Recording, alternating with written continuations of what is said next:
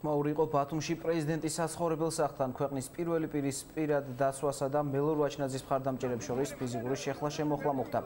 აქციის მონაწილეები ამბობენ, რომ პრეზიდენტის დაცვა მათ ფიზიკური და სიტყვიერი შეურაცხყოფა მიაყენა. დაცვის წარმომადგენელი კი ბრალდებას უარყოფს და ამბობს, რომ შეკრებილები პრეზიდენტის სახლში ცდილობდნენ შეჭრას. ყოფილმა პოლიტპატიმრებმა შემთხვევის ადგილზე პოლიცია გამოიძახეს.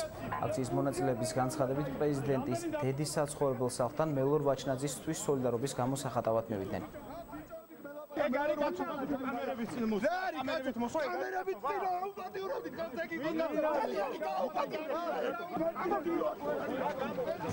გუშინ ჩაატარა კიდევ ერთი პიარ აქცია ვითომ ხალხს უყვარს მივიდნენ ჩემი მეგობრები დაუძახეს რაც იყო ნაძირალა და მკვლელი ამის გამო გალახეს ბიჭები და ეხაც ხელი დააყეს ჩემ მეგობარ და გვებლატაობიან და ამათი საბლატაო საქართველოსი არ არის იცოდნენ რა. უბრალოდ მივედით გამოხდა ჩვენი პროტესტი და მოვარდა დაცვა შეგვაგინა შემეხო პირდაპირ დედაზე შემაგინაა და ვეუნებოდი ხელი გამიშვი მე აქ მოვედი პროტესტის გამოსათქვამად იმიტომ რომ მაგას გონი აჭარა მისი და ჩამოსული აქ და რაღაცა მასკარადებს მართავს დღედაღამე მაგი აჭარაში ვერასდროს ვეღარ ჩამოვააწერა ეს მონაგონარი იქნება. აი ოქტომბრის შემდეგ საერთოდ ვეღარ გაიკარება ვერაფერს და მაგის ადგილი იქნება ციხეში